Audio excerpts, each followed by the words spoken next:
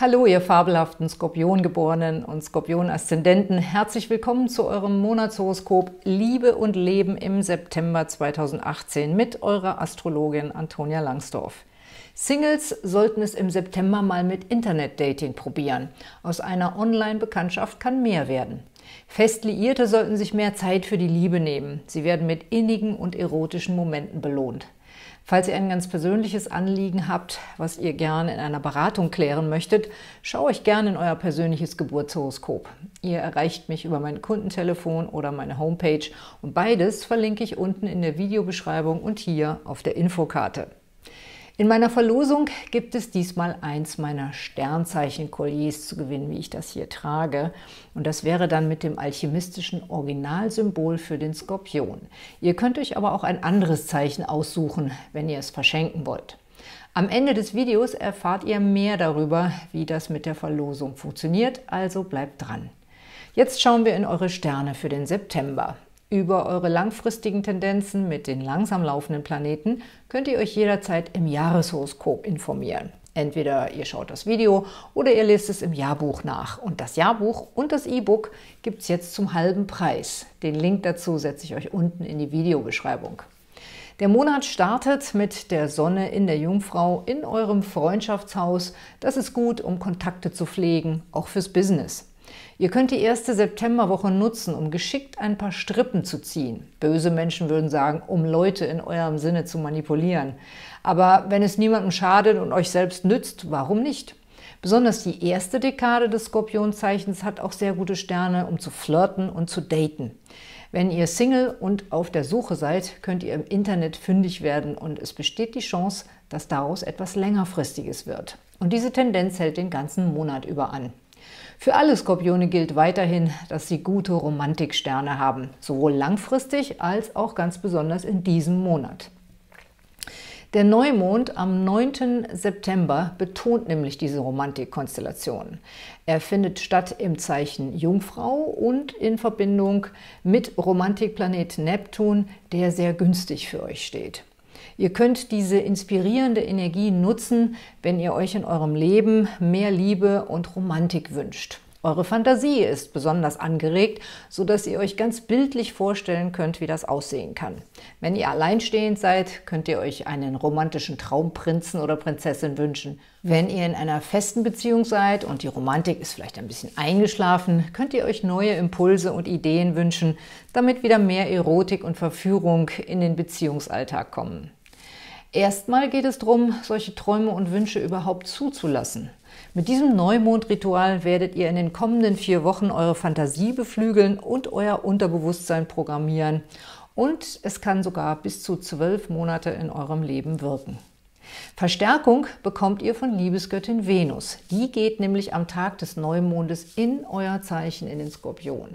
Das ist eine ganz große Sache für euch. Sie wird dort nämlich im Oktober rückläufig und bleibt dadurch extra lang in eurem Zeichen, nämlich bis Mitte November und dann nochmal den ganzen Dezember über.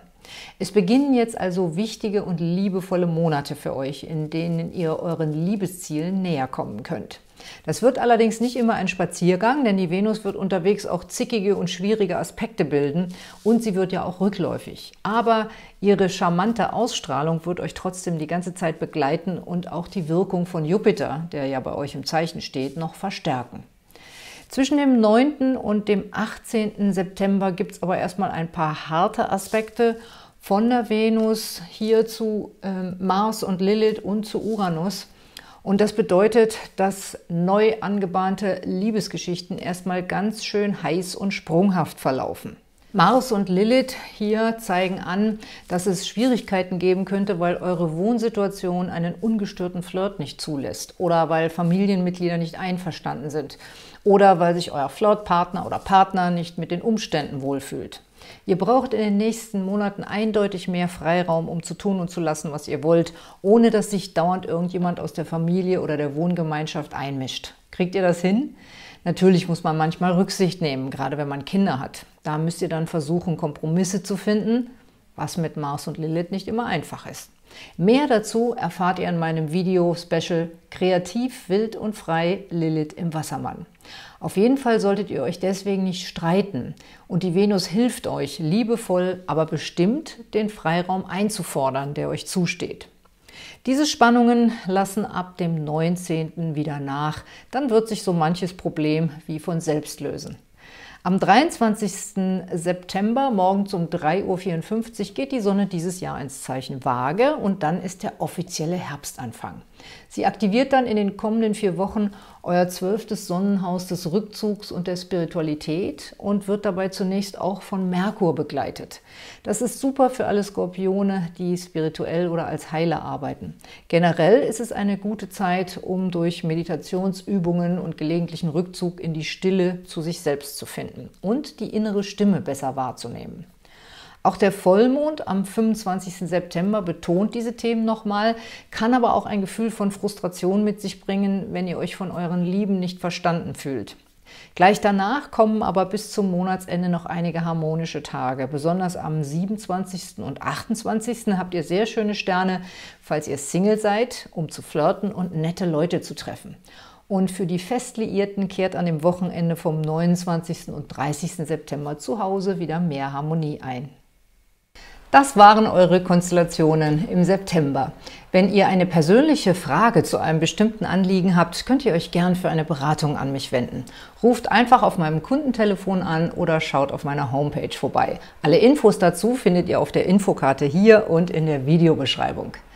Mein nächstes Webinar, Antonias Sterne, ist am Samstag, den 1. September 2018 um 17 Uhr und anschließend ist wieder ein Termin am Freitag, den 5. Oktober um 17 Uhr. Und da könnt ihr mir dann immer eine Frage zu eurem persönlichen Horoskop stellen.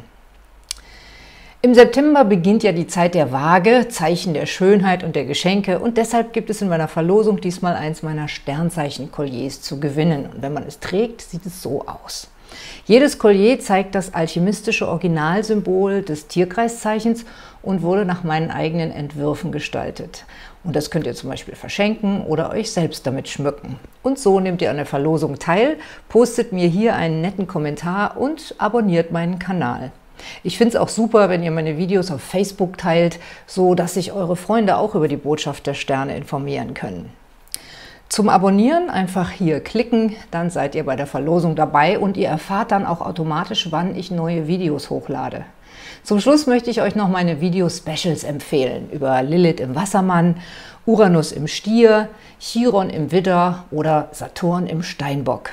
Ich wünsche euch alles Gute mit den Sternen.